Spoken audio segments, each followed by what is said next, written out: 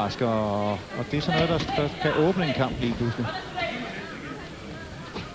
Nu har han i lang tid gået og slået lige stød, så går han ind med uppercutten først. Det overrasker totalt sydafrikaner.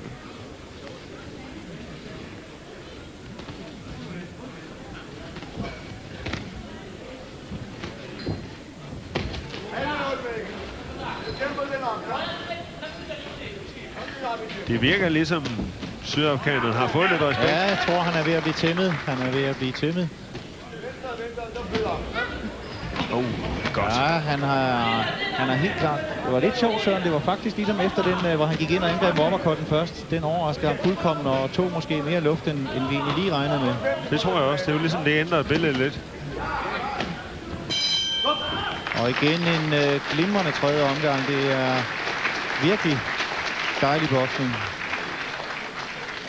Det er boksning, når det er bedst. Og det er dejligt at se, at han kan holde stilen og blive ved med at presse ham. Men de har altså også stolte traditioner ude i CK, som du lige var kort ind på, har fostret mange store mestre. Får det vand er skal styre, ikke? Skal styre hele tiden, ikke? Den lange venstre fin. Prøv at komme ind også. Opperkotten ind. Han går med hovedet. Nej, tag opperkotten med, ikke? Han gør meget fint. Er meget fint. Ja. Nej, det styrer hele tiden kampen, ikke? Ja. Angriber ham med små skridt. Ikke løbe. Små skridt. Ikke? Kør fint. Kør fint. Men også lange venstre hånd, højre hånd og opperkotten med derinde også. Ja, både med venstre og højre hånd, ikke? Kom så. Det er tydeligt, at det har været en hård omgang. Altså, de, øh, de er begge to en smule på pustet nu, og det er helt klart, fordi de har virkelig givet sig begge to her i den her omgang. De var lidt mærket. Så nu er det virkelig også et spørgsmål om øh, kondition. Hvem står distancen bedst her, hvor vi er i gang med de sidste, altså, eller vi skal have to gange to minutter. Fjerde omgang. Næst sidste omgang.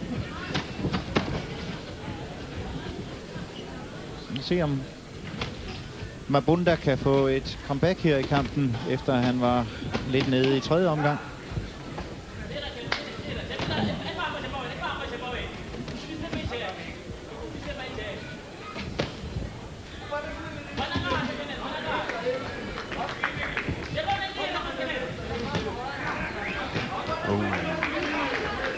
Glimrende boksning. Ja, det er godt. Ja, det er flot. Og han skærer ham godt af. Men også godt kommet fri der af Mabunda. Oh, så du den dybe. Lige er lidt mere bund i den. Så Jamen, ja, den, den bider, det kommer til at gøre afsager de sidste øh, 15 sekunder, den omgang der. Der kommer virkelig med den der.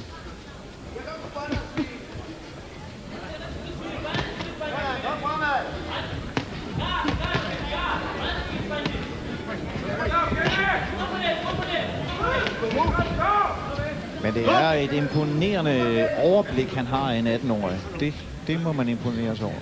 Ja, ikke bare overblikket, også slagrepertoiret. Han kan slagene. Det er virkelig imponerende at se. Der hvor vi lige skulle have renset Mabundas tandbeskytter, der var røget ud. Og vi er klar igen.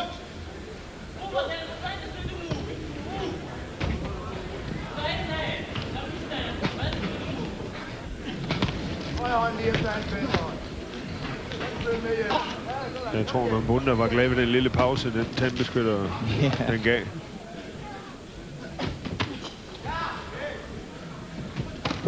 Oh, Nu skal han passe på. Ja.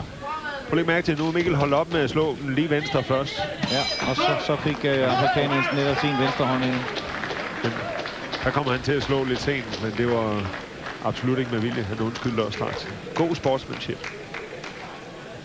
I det hele taget har alle, der har haft noget at gøre med de sydafrikanske bokser og over deres team bagved, været utrolig glade for at have med dem at gøre. Meget varme og venlige mennesker, som øh, har sat stor pris på at komme ud og se noget andet her, hvor vi kan se, at øh, Mikkel Kessler fører nu med hele 10-4, og øh, det bør han ikke kunne smide væk i sidste runde sydafrikanske bokser skal øh, i morgen på en tur til Sverige for at bokse i Stockholm.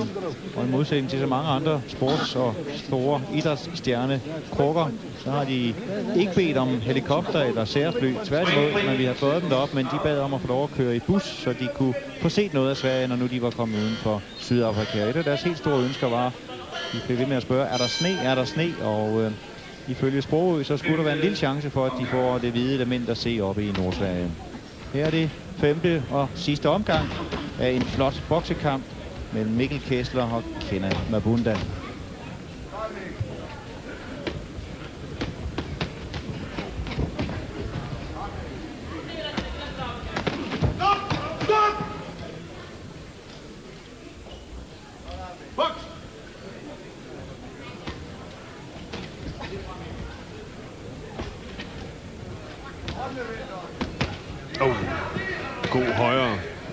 Gennem for Mikkel. Det var lidt af et drøn der sådan. Ja, det var det. Det vi ser her, det er jo modsat mange turneringer, hvor man går ud og ser, der ser du en bokser, der er så langt foran, han går bare ud og holder forspring. Altså her ser vi virkelig kamp, hvor Mikkel bliver ved, selvom han er foran, og egentlig bare kunne prøve at få tiden til at gå. Ikke? Her går tiden igen lidt ved tandbeskytteren. Han puster tungt nu. Hurtigt åndedræt. Så det kan godt være, at øh, den bliver hurtigt spyttet ud for at få lidt luft. Det er et spørgsmål om vores ven med Mumba. Han er, med Munda, han er så rutineret, at han ved, at han er nødt til at tabe sin tandbeskytter for at få lidt pause. Men lad os se. Mikkel Kessler er ved at fange ham i hjørnet igen.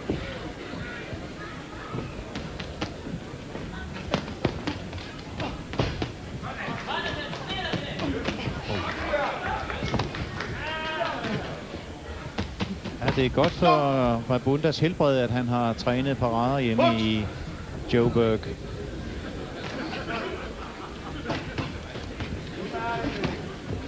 Men stadigvæk, altså han er jo ikke nedvokset. Pludselig så kommer han ud af paraderne med en udmærket serie og prøver hele tiden at forvente slaget.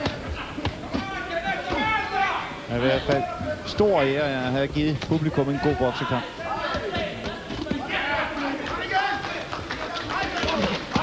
Oh, god løb igen.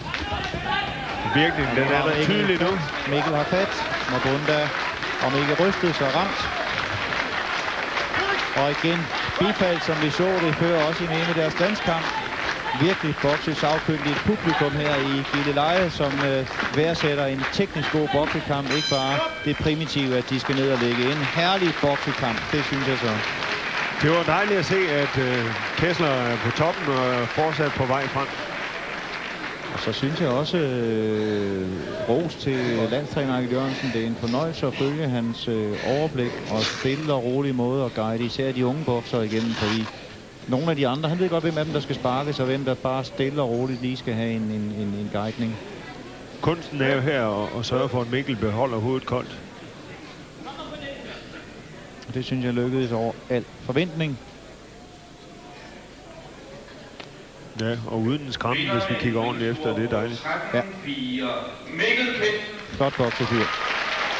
Og stor pointsejr til Mikkel Kessler over Kenan Mabunda fra Sydafrika.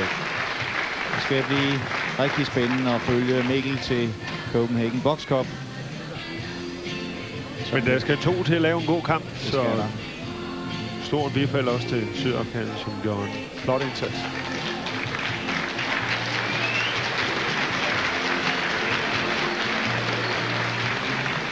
Ej, det er spændende med henblik på